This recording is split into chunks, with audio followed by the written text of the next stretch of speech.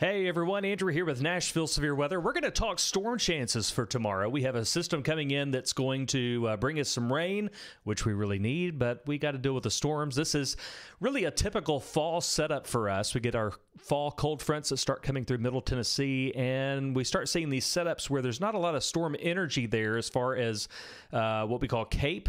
Uh, there's not a lot of storm food there for these storms to feed off of, but man, they've got uh, a couple of other ingredients they have plenty of. And so so uh, we think they might be a little bit potent, low end severe threat for tomorrow, uh, but we could have uh, a couple little issues here and there as the storms come through. Let's take a look at the uh, radar out there. This is as of 6:58 p.m. Okay, so anytime you watch radar, it's almost always out of date immediately because obviously the rain is moving. But this is as of 6:58, just to illustrate that the uh, the system right now is down here over Texas, North Texas, Central Texas, and that is our system for uh, for tomorrow. All right, it's developing here west of Dallas, and uh, that uh, uh, line of storms that we will get tomorrow is now coming through Abilene. Severe thunderstorm watch in effect down there. A couple of warnings in effect now, and that's going to be pushing to the northeast.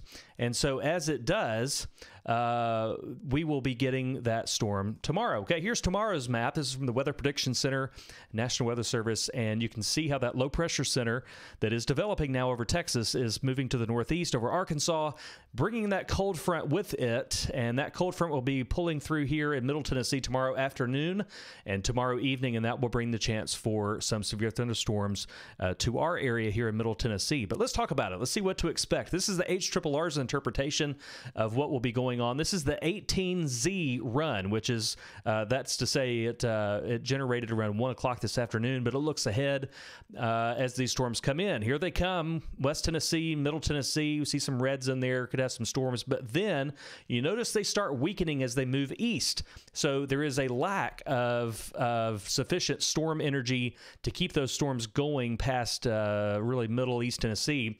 And so will they be weakening when they get here? We don't really know yet. Uh, we're going to watch model data to see how it pans out, and then obviously radar tomorrow.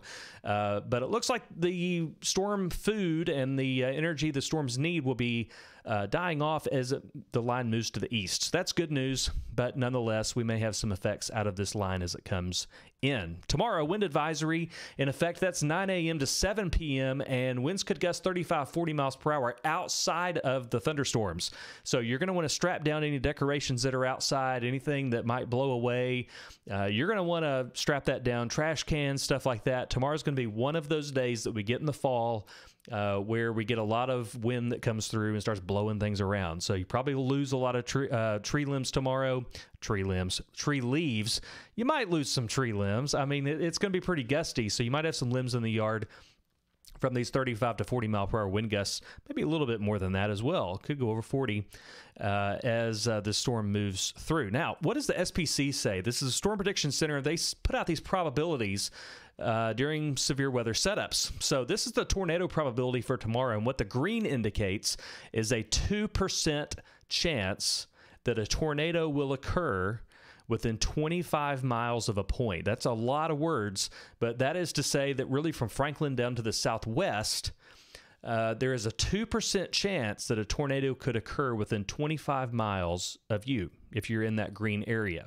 All right, so that's to say there's a 98% chance that there won't be. This is a pretty low probability event. This is not a high end severe weather day, uh, but if a tornado happens on your street, it becomes a big deal no matter how high the prob- probabilities or how low the probabilities are. So we're going to watch for it. We're going to see if these quick spin up tornadoes start happening tomorrow.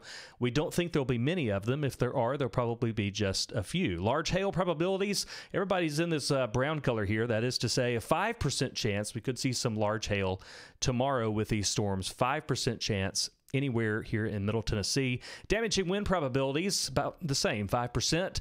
And that's to say that you could get some straight line winds as this line comes through over 58, 60 miles per hour. And that can cause damage, but it may not be a tornado. So uh, th- that's the difference between damaging straight line winds and tornadoes. Could have some similar effects uh, in a setup like this.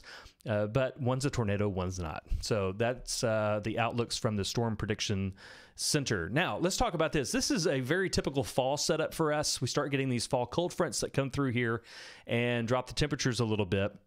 But when that happens, we get these uh, these these very dynamic systems. There's a lot of wind energy typically in the fall uh, with our fall storms, what we call our secondary severe weather season here in Middle Tennessee. So if you're new to the area, uh, this is not you know say you're from uh, out west or something, you, you may not have uh, you know severe thunderstorms and and you know we hear all the time from people say, hey, I'm new here, I have no idea about this whole severe weather thing. Well, this is not a high end event for us, uh, but that is to say, though, that you can have uh, effects on your street, and then it becomes a big deal if you have trees down or maybe a small tornado. So, but we don't think that's going to be widespread.